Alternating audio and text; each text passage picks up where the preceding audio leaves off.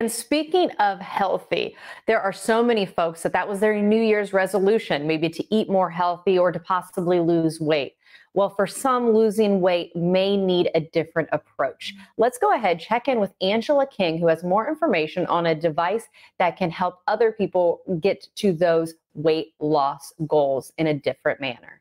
People often make resolutions to lose weight and turn to quick fixes, but what do you do when those quick fixes don't work? Dr. Keith McEwen, MD, bariatric surgeon, says there are a number of reasons why losing weight is difficult. Losing weight um, at the start of a new year is a popular resolution for people. The reason that people have trouble is it's a very difficult process. Um, there's typically more than 65 reasons a person can carry excess weight. Obesity is on the rise, affecting more than 106 million Americans.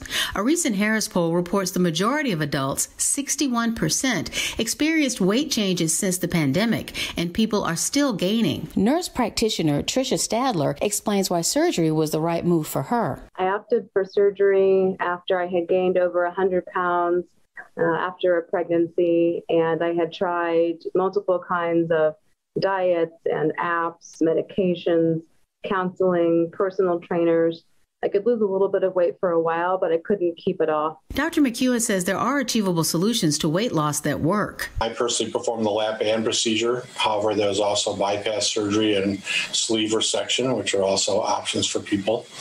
Um, the reason I recommend the lap band procedure is it's uh, the safest procedure surgically. Um, we've performed these for almost 17 years now without any major surgical complications. Um, it can be done in an outpatient setting with a fairly quick recovery time. Dr. McEwen also says the band will decrease a person's hunger and will help limit their portion size, but a lifestyle change is a must. I have patients that now date back to uh, the fall of 2005 and I'm still seeing those patients. They still come in and they still have maintained weight loss over, you know, 16 years now. By prescription only. To learn more and find safety information, visit lapband.com. The site includes background information, patient testimonials, and where programs can be found in your area.